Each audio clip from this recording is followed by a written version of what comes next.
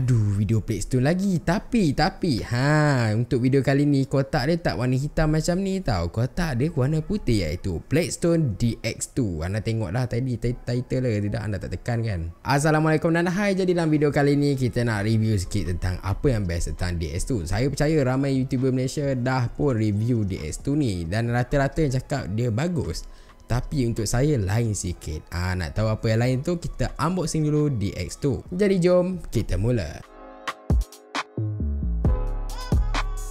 Untuk version yang lebih kepada bunyi ni Dia macam warna hitam dan juga putih. Dia nampak macam professional sikit lah kan So kita akan buka dulu. So kalau anda tengok kotak dia macam biasa je. Cuma dia bagi tahu dia ada carry bag. Dan kalau kita tengok kat sini dia punya design ialah Semuanya metal Dan dia punya kabel ialah tangle free. Alright?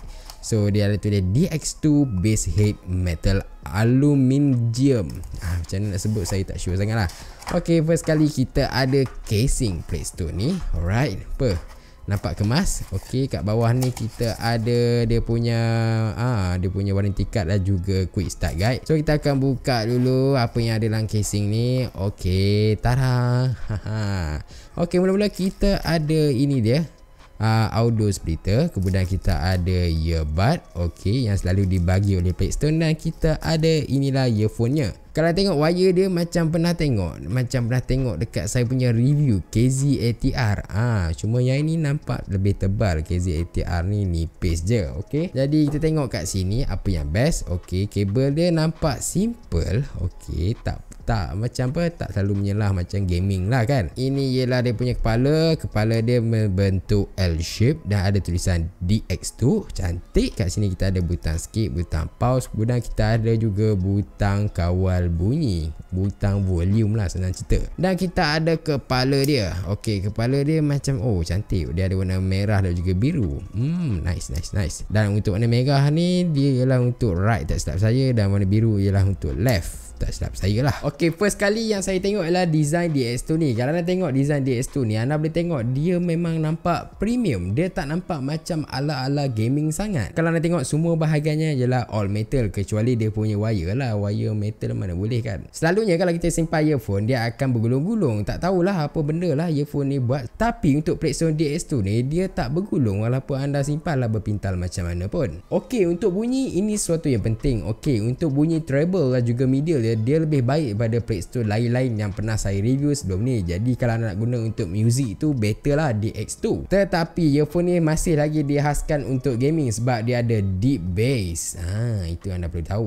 Ok kalau nak tahu bunyi bass dia bukan bunyi bass yang driver bergetar tu tapi bunyi bass yang dalam. Susah nak cerita bunyi deep bass tu macam mana. Anda kena guna dahulu barang Play Store baru anda tahu bunyi deep bass tu macam mana.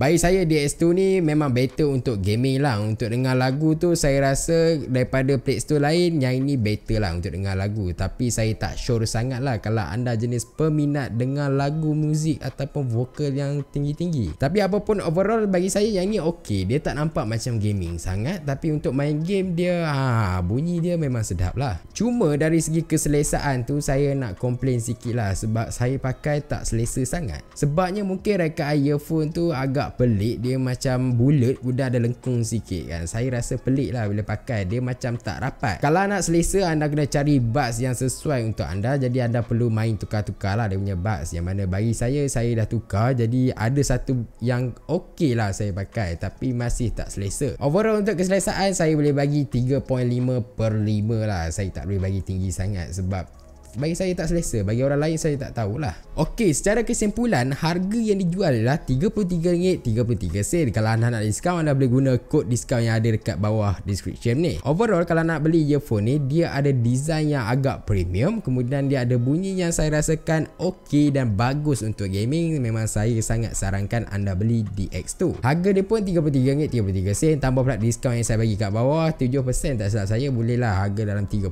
lah. Cantik lah cun. Jadi apa apa pendapat anda tentang Playstone DS2 ataupun anda lebih sukakan Playstone yang ada kotak gelap macam ni kan? Hmm, adakah bunyi dia better untuk gaming dan adakah dia punya design tu lebih better untuk gaming? Yang ini design profesional. Jangan lupa like, subscribe dan juga share. Terima kasih. Jumpa lagi